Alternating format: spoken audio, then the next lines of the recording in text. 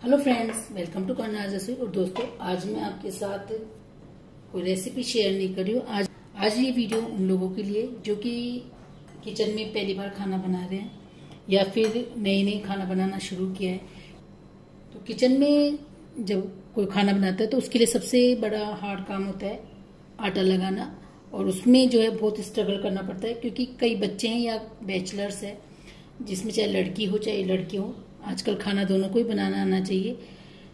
तो उन्हें जो है आटा लगाने में बहुत मेहनत करनी पड़ती है। रोटी सेकना तो फिर भी आसान है, लेकिन आटा लगाने में कभी आटा टाइट हो जाता है तो उसकी वजह से रोटी जो है अच्छी तरह से नहीं बनती है और कभी इतना नरम हो जाता है कि उसमें और आटा डाल डाल के वो बच्चे जो हैं परेशान हो जाते हैं। तो और मेरे इस छोटे से वीडियो से अगर किसी को हेल्प मिलती है तो इससे जो है मुझे बहुत खुशी मिलेगी।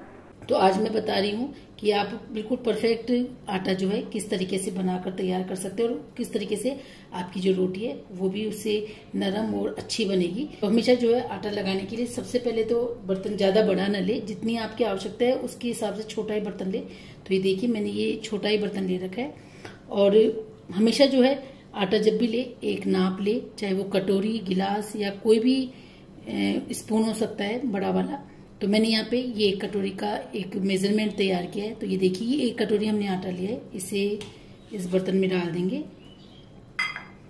और इसमें डालेंगे थोड़ा सा नमक। तो नमक तो आप अपने टेस्ट के अकॉर्डिंग डालिए। वैसे पहले थोड़ा सा ही डालिए, बाकी धीरे धीरे जो है एक अंदाज़ा हो जाता है। तो पहले हम थोड़ा सा ही डालेंगे। नमक डाल दिया। जिस कटोरी में हमने आटा लिया था, उसी कटोरी से हमने जो है पानी लिया है। ये देखिए, अब पानी डालने का भी एक तरीका है कि हम किस तरीके से पानी डालें। ताकि हमारा जो आटा है वो नरम ना हो। तो उसके लिए हम पहले थोड़ा सा पानी इस तरह हाथों में लेंगे। और ऐसे आटे में डालें। इससे जो है आटा नरम नहीं होगा। तो पहले थोड़ा सा पानी डालें और इस पानी को इस तरीके से आटे में मिक्स करें।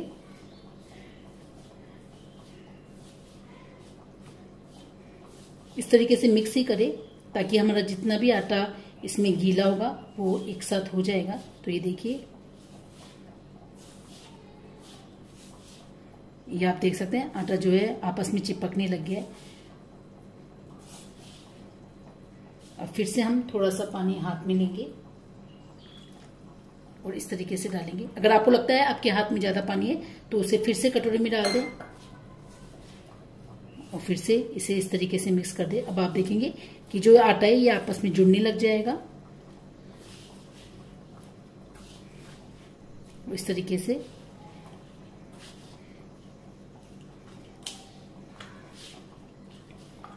अब ये देखिए, इतना आटा हमारा जुड़ गया है तो इसे हम अलग रख देंगे और ये हमारा, ये सूखा आटा बचा है।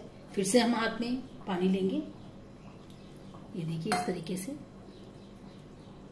पहले आप थोड़ा ही डालिए, ये तो मुझे अंदाज़ा है, इसलिए मैं इसमें एक से दो बार पानी ले रही हूँ, लेकिन आप जब भी बनाएँ तो थोड़ा थोड़ा पानी डालकर ही आटा बनाना शुरू करें।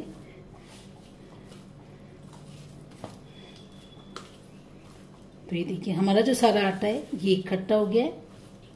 अब हमें इस आटे में लोच लगानी है तो इसके लिए भी हमें पानी की ज़रूरत होगी। तो फिर से हम क्या करेंगे? हाथों को इस तरीके से हल्का सा गीला करेंगे और इससे लोच मारेंगे। और जब लोच लगाएँ तो एक काउंटिंग रख ले कि हमें कितनी बार लोच लगाना है। जैसे आप पहली बार, दस बार से चालू करें। जैसे हमने आटे को इकट्ठा कर लिया है, थोड़ा सा पानी लेंगे और one, two, three, four, five, six, seven, eight, nine, ten.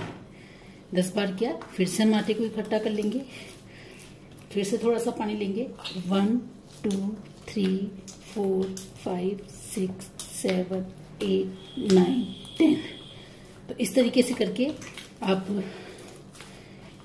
आटे में जो है लोच लगाना शुरू कीजिए। इससे आपको पता लग जाएगा कि हमारा आटा जो है कितने टाइम पे जो है ये अच्छी तरह से लोच से तैयार हो जाएगा।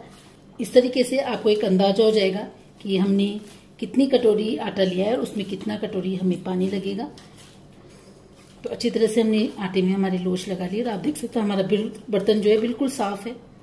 अब हमारे आटे में जो है ये ऊपर पपड़ी ना है और आटा जो है सॉफ्ट बना रहे। इसके लिए हम क्या करेंगे? इसमें लेंगे थोड़ा सा घी। घी को भी बर्तन पे इस तरीके से करेंगे और जो ये आटा है, एक दो बार इसमें लोच और दे देंगे।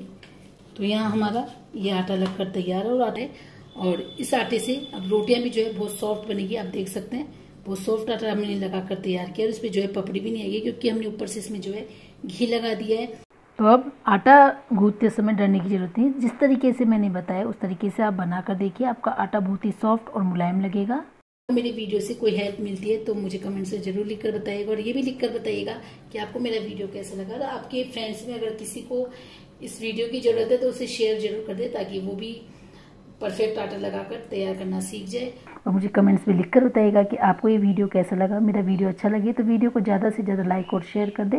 और अगर आप मेरी वीडियो को पहली बार देख रहे हैं तो चैनल को सब्सक्राइब करके बेल आइकन को प्रेस कर दे ताकि आने वाली वीडियो की नोटिफिकेशन आपको पहले मिल सके। तो थैंक यू दोस्तों, मिलते एक ऐसे ही नए वीडियो के साथ। Bye bye